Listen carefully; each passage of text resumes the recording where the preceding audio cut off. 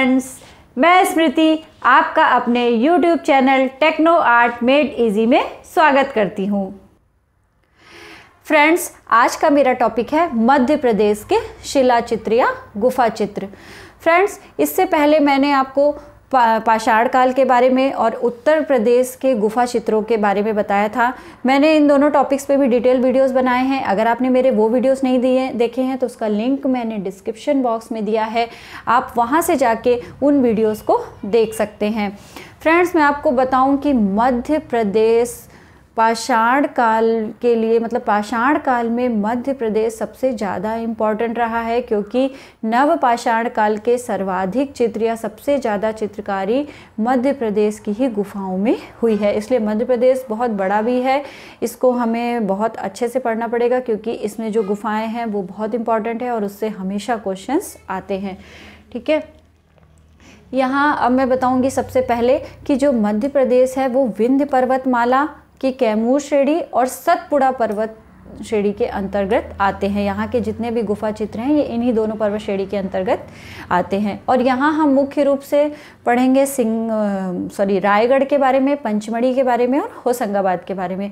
ये तीन चार गुफाएँ जो बहुत इंपॉर्टेंट हैं मध्य प्रदेश के अंतर्गत और इनमें सर्वाधिक चित्र भी प्राप्त हुए हैं।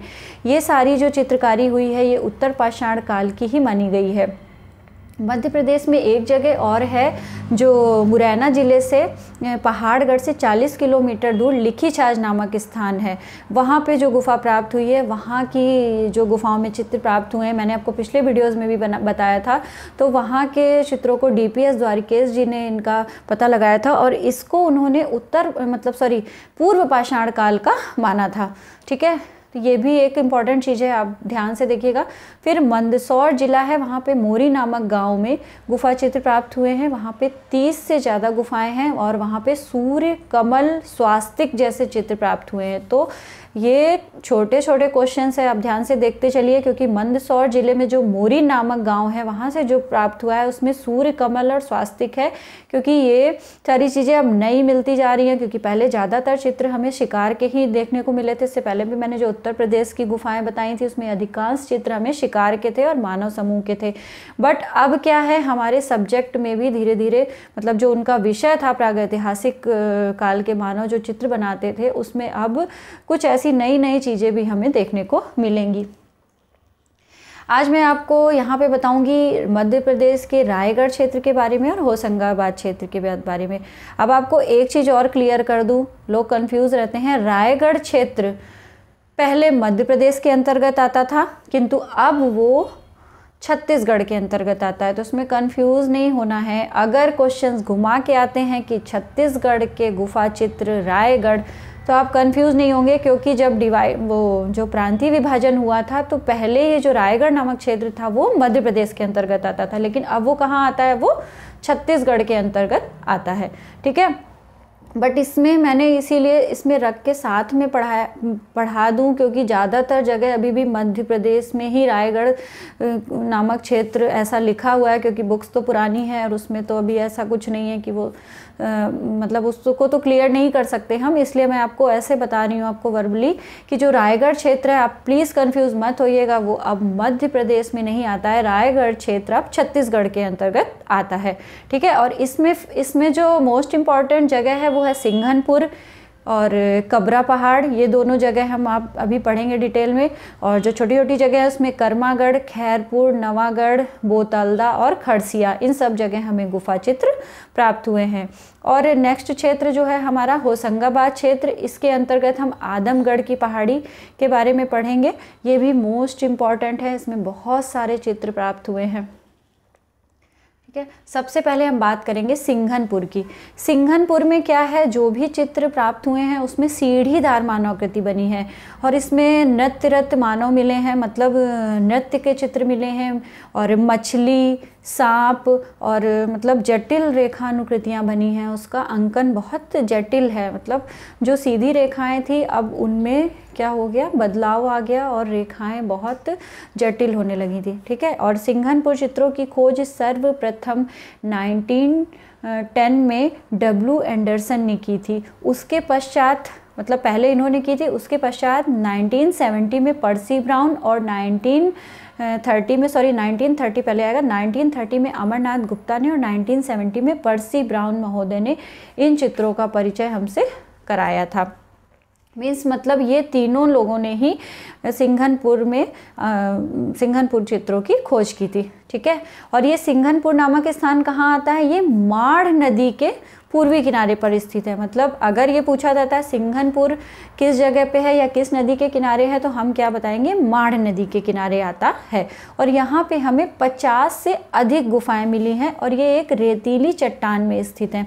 यहाँ के जो अधिकांशता चित्र हैं, वो सभी लाल रंग में बनाए गए हैं। आगे कुछ और चीज़ें देखते हैं। जैसे पुरातत्ववेताओं ने यहाँ के स्थान को स्पेन और मैक्सिको से प्राप्त जो शैल चित्र थे, उसके समान माना है। और यहाँ पे एक सुरंग नुमा गुफा थी मतलब गुफा है। वहाँ पे पशुओं के, जिसमें घोड़ा, बारासिंगा, हिरन, सूड उठाए हुए हाथी और खरगोश का अंकन मिला है। जानवरों का अंकन मतलब जानवर मीन्स वही शिकार करते हुए, उनका अंकन सबसे ज़्यादा है जंगली सांड को पकड़ते हुए और बर्छी से उसे छेदते हुए। इन सब का बहुत मार मतलब बहुत रियलिस्टिक वहाँ पे चित्रण हुआ है। और इन स्थानों के निचले भाग में बहुत से पत्थर के औज़ार और हथियार भी प्राप्त हुए हैं। एक चीज़ आपको बताऊँगी, जो सिंघनपुर नामक स्थान था, यहाँ पे भी जो औज़ार प्राप्त हुए हैं और जो हथियार प्राप्त हुए हैं तो ऐसा अनुमान लगाया गया है कि शायद मध्य पाषाण काल में यहाँ पे चित्रकारी हुई थी। ये देखिए, वहाँ के कुछ चित्र जैसे ये जो आकार वगैरह अलग अलग आकार बनाने लगे और ये मानव आकृतियों में भी कुछ अंतर दिखने को लगा, देखने को मिलता है। नेक्स्ट हम बात करेंगे कबरा पहाड़ की। कबरा पहाड़ यहाँ के चित्रों की खोज 1931 में अमरनाथ दत्ता ने की थी। ठीक है, और यहाँ के सारे चित्र मतलब यहाँ पे जो गुफाएँ हैं, उनके सारे चित्र सिंघरपुर के समान ही गेरुए लाल रंग में बनाए गए हैं। और यहाँ की जो मुख्य विशेषता थी, वो थी यहाँ के लोगों ने मतलब यहाँ पे जो चित्र बने थे, वहाँ यहाँ छेपांकन विधि मीन्स स्टेंसिल्स बोलते हैं जिसे, उससे किया था। मतलब किसी एक उस पर आकृति को बना के उसके बाद उसको गुफा में मतलब गुफा की दीवारों पर उसको बनाया था। यहाँ पे जो विषय थे, वो मुख्य रूप से लकड़बग्गा हिरन, मोर, बारासिंगा और नाचते हुए मानव समूह, ये सारे थे। कछुआ, मछली, केंचुआ मतलब अल, बहुत सारे जानवर, पक्षी, ये सारे जो पशु पक्षी थे, इन सब का चित्रण यहाँ पे देखने को मिला है। एक और ये जो स्थान था, ये एक ऊँची चट्टान, वो मतलब बहुत चितकबरी है। निचले भाग में पत्थरों का जो मतलब वो कबरापन था वहाँ के आसपास के पत्थरों का जो कबरापन था, इसलिए इसको वहाँ क्या, इसलिए इसका नाम कबरा पहाड़ पड़ गया या कबरा पहाड़ कहा जाता है। और यहाँ पे जो चित्र है, और वो बहुत ऊंचाई पे, यानी 25 से 30 फुट फीट की ऊंचाई तक चित्रों का अंकन देखा जा सकता मतलब हम इमेजिन कर सकते हैं कि इतनी ऊंचाई पे कैसे चित्र बनाए गए होंगे, कैसे उसने चित्र बनाए होंगे, या तो उसने चट्टानों को या पत्थरों को इकट्ठा करके उसको, उसके ऊपर खड़े होकर चित्र बनाए। क्योंकि इतनी ऊंचाई पे चित्र बनाने के लिए उसने किसी ना किसी साधन का भी यूज़ किया होगा, और वो साधन उसको पहाड़ों पे था तो वो पत्थरों का ही यूज़ ज़्यादा करता था, और उन शायद पत्थरों को ही रख रख के वो इतनी ऊंचाई पे चित्र बना पाया है। ये देखिए एक ऐसे जटिल रेखांकन वहाँ की गुफा चित्रों से प्राप्त हुए हैं। अब जो रेखाएँ थी, वो भी अलग अलग मतलब फॉर्म्स उसमें बनने लगे थे। अलग अलग आकृतियाँ वो बनाने लगा था। ये बहुत फ़ेमस चित्र है। गोह मतलब जिसको छिपकली भी बोलते हैं, गो, मोर, कछुआ और साथ में जटिल रेखांकन। मतलब ये जो एक पहिया जैसा बना है, उसमें बहुत सारी रेखाएँ हैं। इसको एक चक्र जैसा माना गया, जटिल रेखांकन किया गया बट ये फ़ेमस चित्र है, छिपकली का, जिसको गोह भी बोलते हैं। तो ये चित्र हमें मिला है कबरा पहाड़ से। नेक्स्ट हम देखेंगे हिरन, कछुआ, पहिया और जटिल रेखांकन। ये भी वहीं का है कबरा पहाड़ का। इसमें भी देखिए, ये जो इन्होंने जो आकृतियाँ बनाई हैं, उनमें कितना मतलब जो रेखाएँ वगैरह से कितना उन्होंने अलग अलग तरीके से वेरिएशन दिया है। सीधी रेखाओं का यूज़ ना करके उनको बहुत ज़्यादा जैमि मतलब जैमिति आकार भी देना शुरू कर दिया था। ये है एक नृत्य करते मानव समूह। बहुत से चित्र अब धुंधले हो गए हैं क्योंकि वातावरण के प्रभाव से और जो अब इतना टाइम पीरियड हो गया है, उस वजह से कितने चित्र बहुत से मिट गए हैं, बहुत से चित्र बहुत धुंधले हो गए हैं। बट अच्छी बात ये है कि उन्होंने जो भी उस समय कलर्स यूज़ किए थे, क्योंकि उस समय सारे कलर प्राकृतिक रंगों का वो यूज़ करते थे, वो फूल पत्तियों से ही कलर को बनाते थे। तो उस वजह से जो भी चित्रकारी हुई है, जो भी मतलब कलर उन्होंने लगाया है, गेरू और जिससे तो वो अभी भी मतलब इतने टाइम पीरियड बाद भी हमें कहीं ना कहीं वो समझ में आ जाते हैं जहाँ पे पहाड़ियाँ ज़्यादा नीची रही होंगी, जहाँ गुफाएँ ज़्यादा मतलब खुली नहीं थी, जहाँ पे पानी कम पहुँच पाया, यहाँ पे बरसात के पानी से वहाँ ज़्यादा नुकसान नहीं हुआ तो वहाँ के चित्र आज भी सुरक्षित है। बट जहाँ जहाँ पे पानी का रिसाव या अन्य प्राकृतिक आपदाएँ रही हैं तो उस वजह से वहाँ के चित्र ज़्यादा नष्ट हो गए हैं। ये एक और है, हिरन, बारासिंगा और अन्य पशु हैं। चित्र बहुत धुंधले हो गए हैं, बट आपको इतना तो मतलब हल्के से समझ में आ ही रहा है कि ये पशु आकृतियाँ हैं। तो ये सारी चित्र हमें कबरा पहाड़ नामक स्थान से प्राप्त। नेक्स्ट हमारा आता है होशंगाबाद क्षेत्र। ये होशंगाबाद क्षेत्र के अंतर्गत आदमगढ़ पहाड़ी नामक स्थान से हमें बहुत सारे गुफा चित्र प्राप्त हुए हैं। और यह स्थान मध्य प्रदेश में जो पंचमढ़ी है, वहाँ से 45 किलोमीटर दूर नर्मदा नदी पर स्थित है। वर्तमान में यहाँ पे 11 चित्र मतलब 11 गुफाओं में चित्र प्राप्त हुए हैं और यहाँ पे लगभग 18 शेल मतलब 18 शेल्टर्स या 18 गुफाएँ थी, पर जो चित्र हमें प्राप्त हुए हैं वो अब मात्र 11 गुफाओं में ही प्राप्त हुए हैं।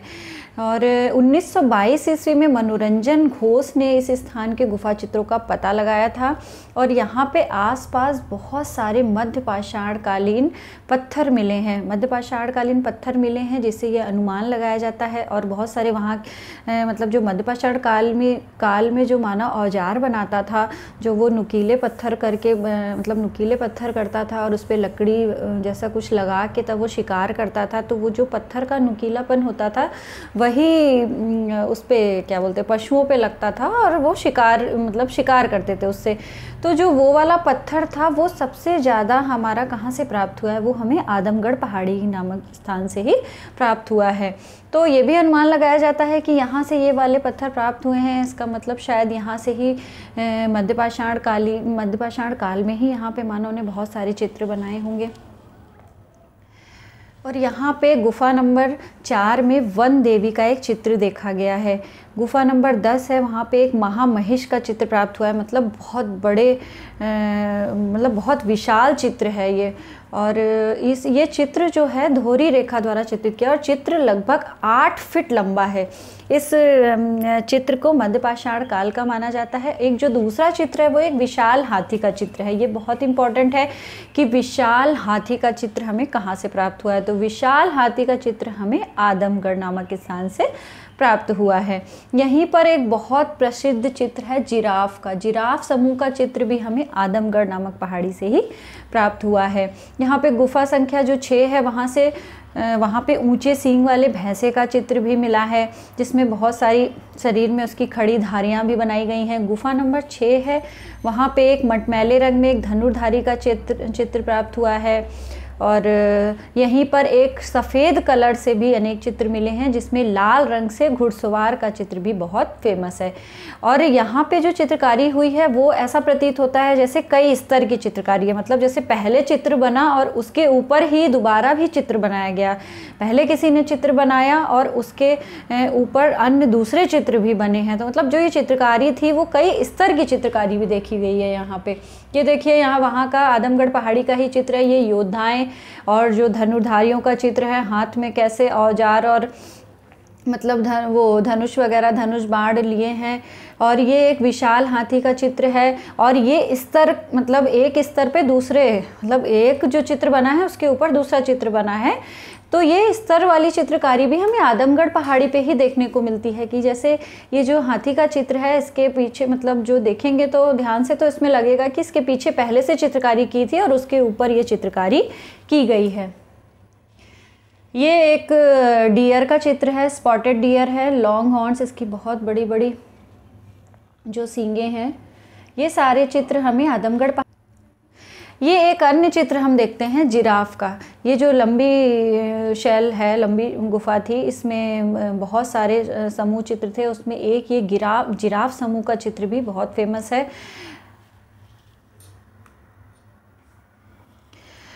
तो फ्रेंड्स ये मैंने आज आपको होशंगाबाद क्षेत्र के चित्र और सिंघनपुर के क्षेत्र के चित्र के बारे में बताया है। अब इसके आगे मैं नेक्स्ट में आप नेक्स्ट वीडियो में मैं आपसे बात करूँगी पंचमढ़ी क्षेत्र की और उसके बाद आएगा मेरा भीमबेटका क्षेत्र के शैल चित्र। तो फ्रेंड्स जो मध्य प्रदेश के शैल चित्र हैं, ये बहुत फ़ेमस हैं, इसलिए मैं इसको एक साथ मैंने इसको बहुत लेंदी ना करके आपको थोड़ा शॉर्ट में करके और बताया है ताकि आपको चीज़ें क्लियर रहें। और इसको आप अगर अलग अलग करके पढ़ेंगे तो आपको ज़्यादा आसानी रहेगी चीज़ मतलब चीज़ें और ज़्यादा क्लियर होंगी, क्योंकि ज़्यादातर जो चित्र हैं वो पंचमढ़ी, होशंगाबाद से प्राप्त हुए हैं और उसके बाद आदमगढ़ और सिंघनपुर से प्राप्त हुए हैं। तो जो पंचमढ़ी और होसंगम सॉरी भीम बेटका है, इसको हम अपने नेक्स्ट वीडियो में पढ़ें। आई होप आपको मेरा ये वीडियो पसंद आया होगा तो प्लीज़ मेरे चैनल को लाइक करें शेयर करें और सब्सक्राइब करें। साथ ही बेल आइकन को प्रेस करें। जिससे आपको टाइम टू टाइम मेरे लेटेस्ट वीडियो के नोटिफिकेशन मिलते रहेंगे। मिलते हैं अपने नेक्स्ट वीडियो में। तब तक के लिए बाय बाय